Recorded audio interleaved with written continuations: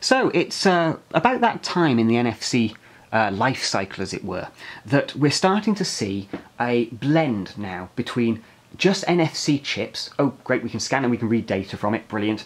And actual functionality that the general public and business users at large can wrap their heads around. How is NFC going to work practically for me? Not just here's a load of chips and now what do I have to do with them, but oh, I can see what this does. It's a fully formed something.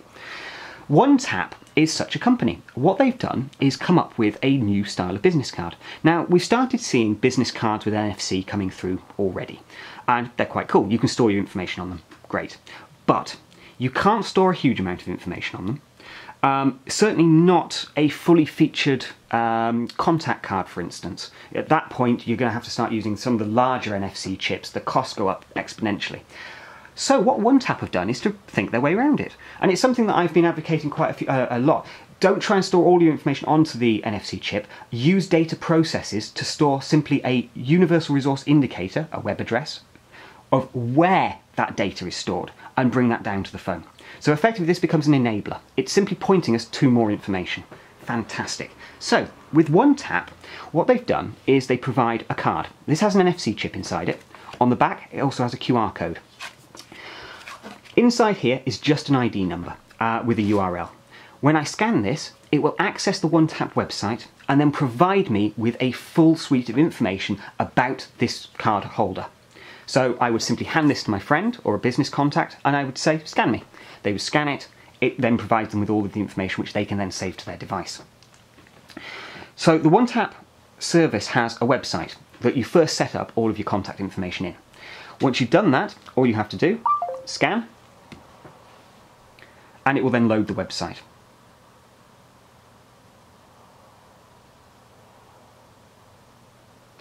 And so here you can see Practical NFC. It's a simple web page, has access to the social networks, the contact details, and then quick launch icons along here which will quickly move me into either making a phone call, sending a message, uh, an email, or there's an SMS option there if it's enabled. Or I can download the entire contact card directly to my phone.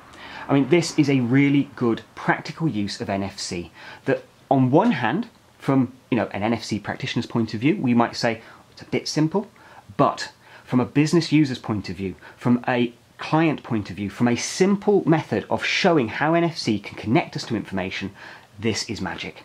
And it's going to go a long way, I think, to convincing business owners to actually adopt this within their uh, business need. Uh, because if you turn around to someone and say, oh, yeah, you can store some contact information on it, but not all your contact information, well, people aren't going to do that, are they? They're, they're going to look at it and say, well, I want all of my information. I want to store a photograph maybe as well.